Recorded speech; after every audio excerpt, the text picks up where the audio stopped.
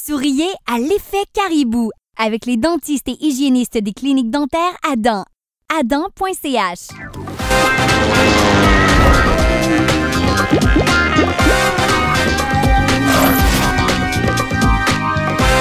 Bonjour et bienvenue dans l'effet Caribou. Aujourd'hui, l'invité de Louis Maxime est maître Marc Bonan, l'un des avocats les plus réputés de Suisse. Il est admiré pour sa maîtrise hors du commun de l'art oratoire et a reçu le prix du rayonnement de la langue française décerné par l'Académie française elle-même. En gros, Louis Maxime, il vaut mieux que tu soignes ton français aujourd'hui. C'est ce que je vais faire. Oui, alors déjà on dit pas c'est ce que je vais faire, on dit c'est ce que je vais faire, d'accord? Je vais, vais faire, c'est ce que je vais faire. C'est ce que je dis.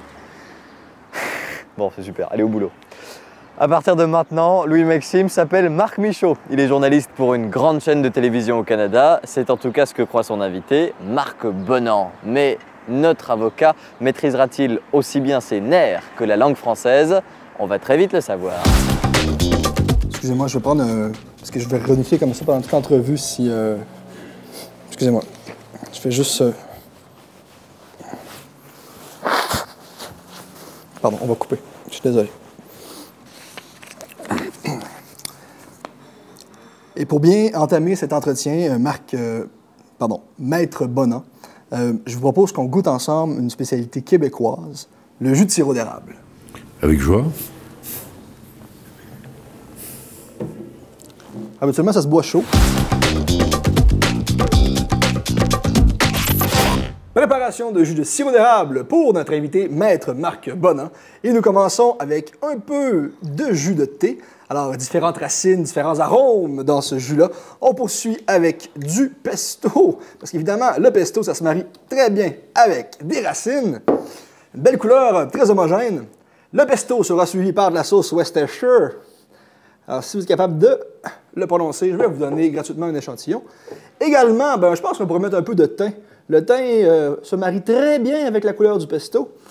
Et finalement, juste avant euh, le sirop d'érable, j'avais envie de mettre un peu de gingembre, question d'épicer le tout.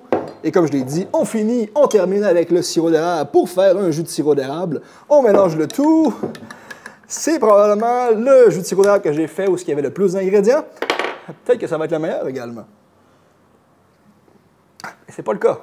Surtout, c'est un, un breuvage repas. Santé. À, à vous, à vous.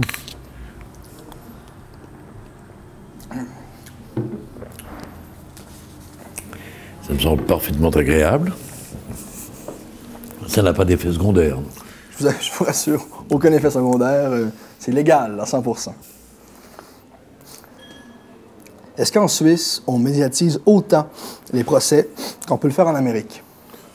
Oui, sans doute. Enfin, peut-être pas dans cette démesure-là, mais d'abord, il faut savoir, on parle là de la, de la justice pénale, hein, qui est la seule justice à laquelle euh, le regard de tous, donc des citoyens, a accès. Et donc, la justice pénale est publique, elle est parfois médiatisée selon la nature des dossiers que l'on traite. Excusez-moi. Est-ce que vous voulez qu'on recommence? Excusez-moi. Non, non, mais je vous en prie.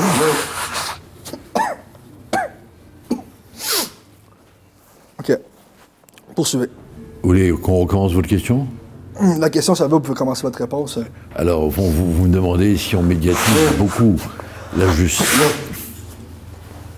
On y va Vous me demandez si on médiatise beaucoup la justice en Suisse. Alors, je commence par rappeler que la- le seul aspect de justice qui connaît une certaine notoriété, euh, une certaine publicité au sens premier, c'est la justice Pardon. pénale. Je suis complètement euh, congestionné. Je vais. si Vous voulez qu'on s'arrête un moment?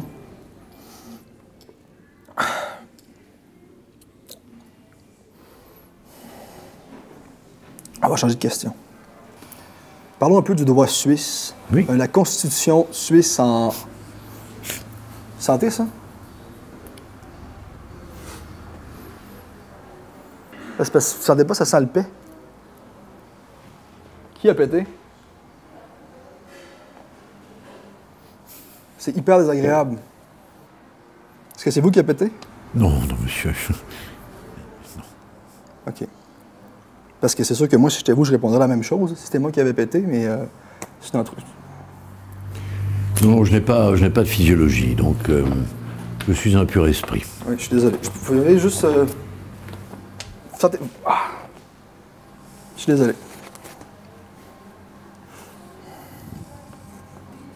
OK.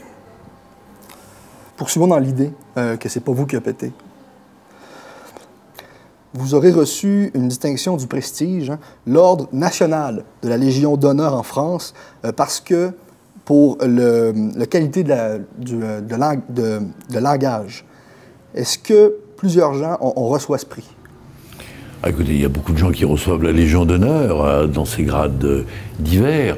Je peux faire une parenthèse? Oui. Vous avez une voix magnifique. Merci infiniment. Je tenais à vous le dire. Je fais la parenthèse. Maître Marc Bonan, euh, vous avez déjà déclaré la langue est consubstantielle à la pensée. On pense dans les mots, on pense par les mots, on pense dans la langue. Je comprends pas. Oui, mais c'est- parce que c'est un, je crois que c'est un double rapport. D'abord, la pensée devient claire lorsqu'elle trouve les mots. Avant, elle est une, intuition. D'ailleurs, même lorsque vous pensez silencieusement, vous donnez du vocabulaire à votre pensée. Et au fond, quand vous l'avez formulée, même silencieusement, vous êtes étonné parfois de ce que vous avez pensé et qui vous est révélé par les mots, les mots qui vous sont venus. Ma langue n'a pas de cerveau. Bien sûr que votre langue, enfin, votre langue n'a pas de cerveau. Non, votre cerveau, c'est autre chose que votre langue. Mais votre cerveau, dans son joyeux foisonnement, il doit bien, d'une manière ou d'une autre, s'exprimer. Il n'est pas fait pour votre plaisir solitaire, votre cerveau. Ça dépend. Ah oui, on, on- on peut imaginer. On peut solitaire, imaginer. des fois, hein. On peut imaginer la richesse d'une vie intérieure, claustrale, silencieuse, bien sûr. Mon frère est muet. Ça Oui. fait lui quelqu'un de stupide? Non, mais pas du tout. Et D'abord, euh, je, je comprends que vous me disiez ça. Parce que je trouve que c'est un peu blessant pour des gens muets, ce que vous dites. Non, non, non. Parce qu'eux aussi peuvent communiquer. Euh, non. Il y a, Je il y a m'excuser- l'écrit. Je vais m'excuser pour vous.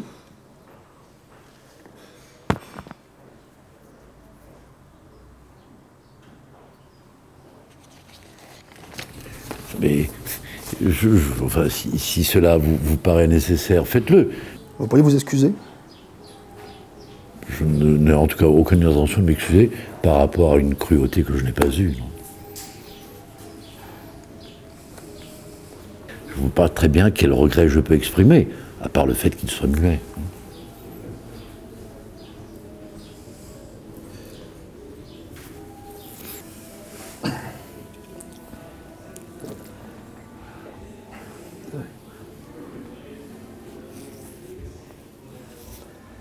Maître Bonan, euh, si j'aurais la chance de, de- de gosser sur une patente à gosse qui régit les lois, euh, mais moi, je ne sais pas pantoute comment faire, mais là, je suis tanné. À cette heure, je pourrais vous appeler pour ces bébelles-là.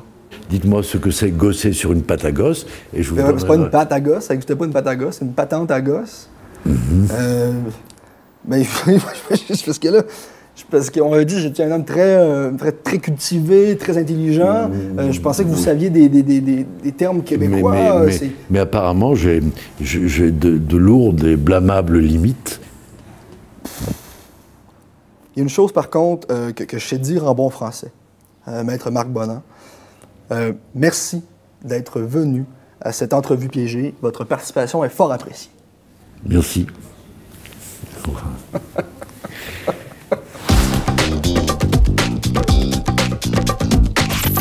Comment vous vous êtes senti durant cette entrevue? Je crois que le, le premier épisode singulier, c'est quand euh, ce monsieur charmant qui m'interviewait éternuait beaucoup. Je me suis dit, c'est peut-être une pratique du Grand Nord. et C'est normal. C'est peut-être une sorte d'authen- d'authenticité. C'était peut-être. Il voulait me faire ainsi. Jusque-là, j'ai pensé qu'il était ou malade ou mal élevé, ou les deux. Euh, Vous vouliez pas faire pareil Vous auriez pu si j'avais compris que, comme chez les Esquimaux, de se frotter le nez, ce par quoi on dit son affection, Oui, et si j'avais déduit que de se mettre des doigts dans le nez était ce par quoi on disait le plaisir, j'aurais mis un doigt dans le nez au titre de la civilité, de la réciprocité. On vous découvre euh, une passion pour l'ethnologie. Oui, oui, absolument. Merci Marc Je suis en tout cas ravi d'avoir connu votre peuplade. Je- à bientôt. Et attention, si vous êtes un peu connu en Suisse romande, le caribou va encore frapper et plus vite que prévu. Le caribou est un animal sournois.